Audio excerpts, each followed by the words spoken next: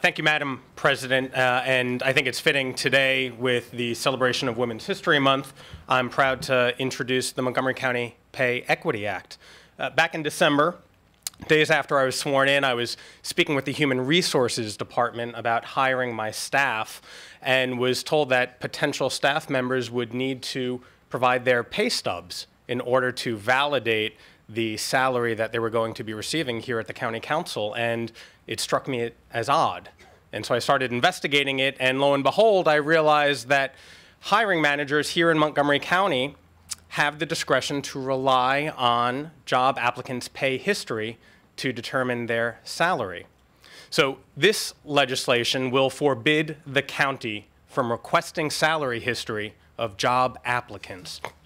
Such a prohibition is important because pay history is used to determine future pay. When it is used to determine future pay, individuals become stuck in a cycle in which they quickly become undervalued, a cycle that disproportionately affects women.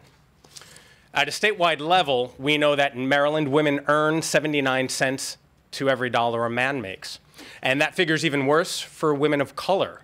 African American women make approximately 69 cents, and Latinas make 47 cents for every dollar a man makes. And when such a discrepancy exists, it might feel like a small, minor issue to some, but the multiplier effect can become great.